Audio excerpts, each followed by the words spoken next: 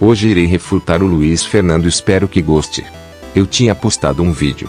Aí o Luiz Fernando disse que o leão do Atlas era a maior subespécie de leão. Porém, eu passei uma fonte para ele. Era uma fonte muito bem detalhada. Que analisava até os tamanhos de crânios. Ah, o livro Big Cats of the War menciona que o leão do Atlas é pequeno.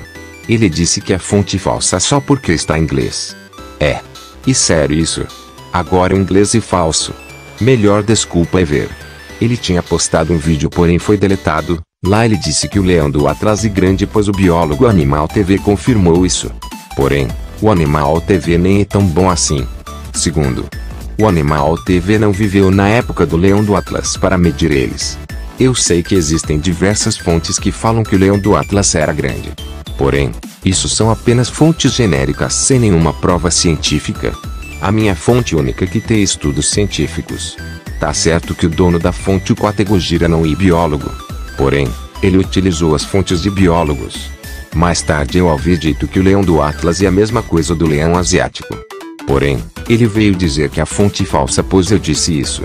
Porém, Zé quando eu disse a mesma coisa, eu quis dizer o mesmo tamanho. Além de achar que o leão do Atlas era grande, ele acha que o leão tem grandes chances contra um urso Kodiak. É, muito inteligente esse cara capa capa capa. O leão possui dentes pequenos, jamais ia machucar o urso Kodiak. O leão ganha além de um urso grizzly atual de 190 kg. Ele ainda acha que o leão ganha do tigre de Bengala. Tá vendo essa foto? Essa foto é claramente montagem. Porém, o Luiz Fernando disse essa foto é verdadeira. Capa capa capa. Estou até com medo da inteligência do Luiz Fernando capa capa capa. Um leão pode até vencer um tigre da Indochina, porém, um tigre de Bengala um leão jamais venceria.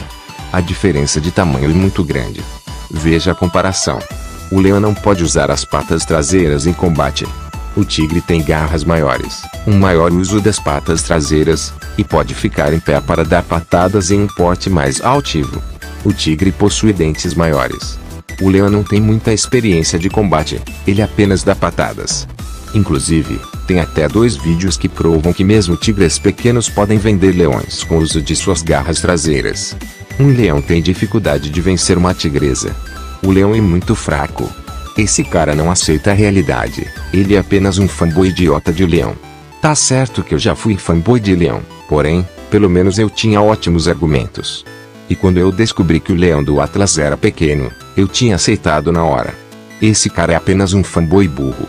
Luiz Fernando foi refutado capa capa capa capa capa capa capa capa capa.